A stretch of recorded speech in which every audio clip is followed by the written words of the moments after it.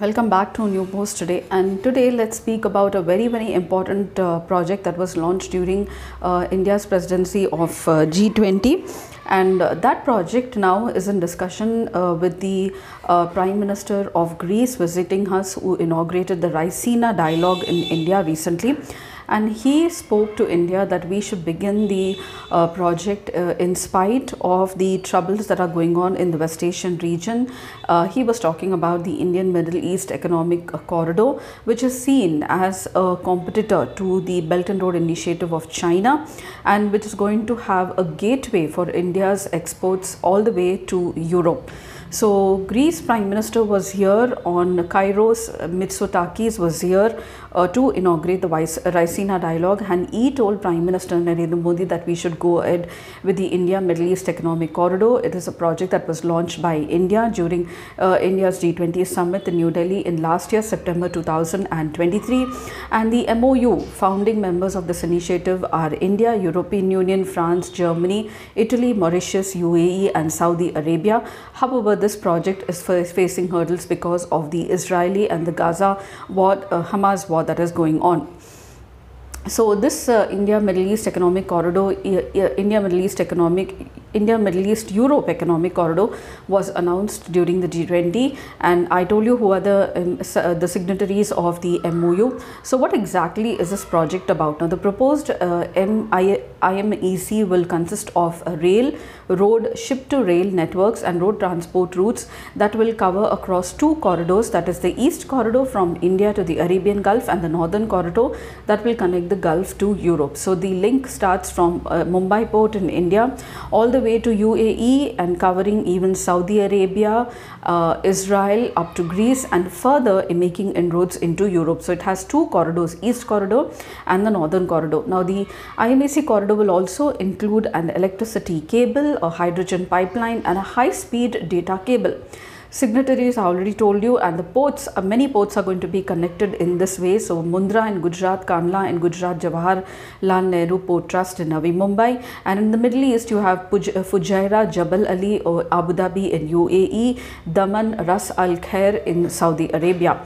There will be a railway line that will connect the Fujairah UAE port to Haifa in Israel via Saudi Arabia uh, which will connect the Ghuwaifat and and uh, Hara, uh, the uh, the Hara port and also Jordan. In Israel, Haifa port will be connected and all the way to Europe from Greece, Italy and all the way uh, and France and many other countries further. So the objective is therefore to create a comprehensive transportation network which will uh, be multimodal uh, comprising rail, road and sea routes and connecting India and the Middle East along to Europe. It aims to enhance the transporting efficiency, reducing the costs, increasing economic unity among these countries and also generating employment which is export oriented.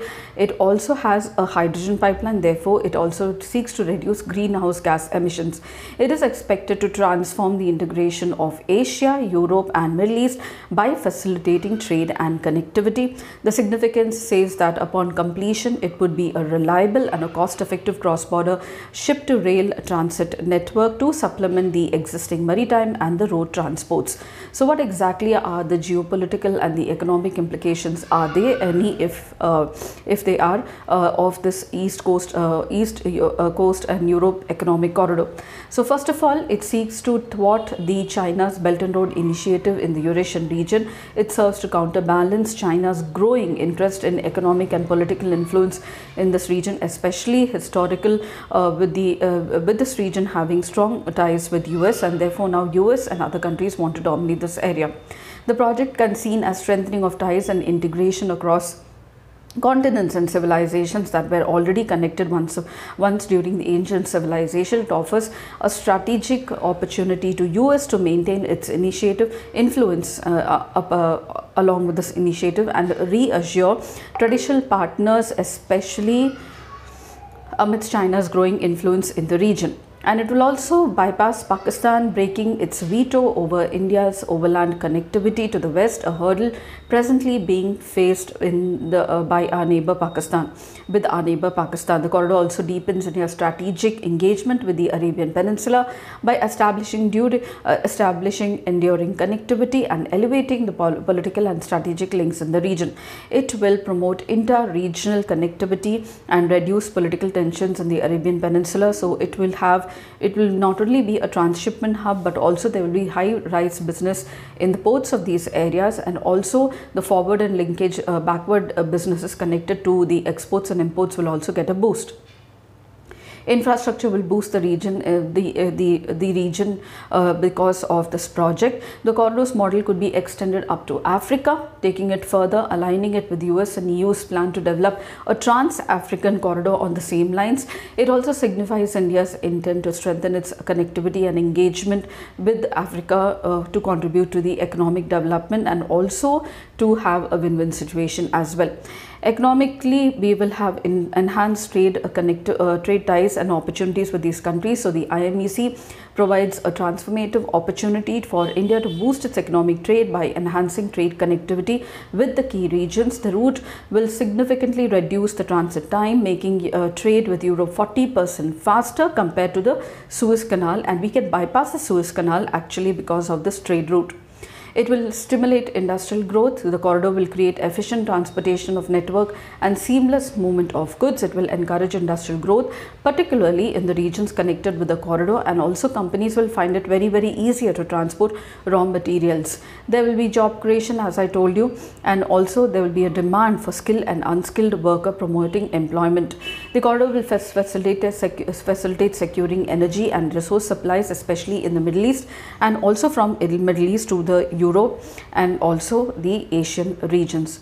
Reliable access to these resources will stabilize India's energy sector supporting its growing economy and it will facilitate the development of special economic zones and this was uh, told by our very own Ministry of Commerce itself. So the corridor will be strategically leveraged to develop special economic zones along its route.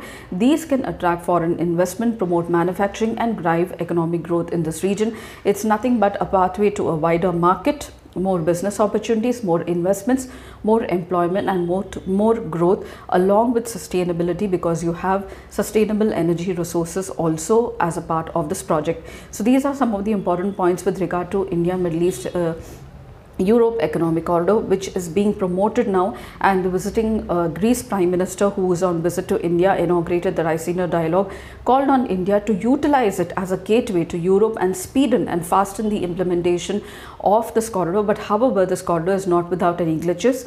Uh, Greece and Turkey have certain issues with regard to port access. These things will have to be looked into because Turkey also has a very important role to play in this corridor and Turkey has already made it very vocal that no corridor can be successful without without the participation of Turkey. So it's all expectations high with regard to this corridor, especially seen as a uh, as a counterpart or as a competition to the China's increasing influence through the Belt and Road Initiative and also the China-Pakistan Economic uh, Corridor as well. So I hope these important points were really helpful to you all and if you did please do like, share, subscribe, don't forget to comment at the end of the video and I shall see you in my next post. Until then, it's very happy learning.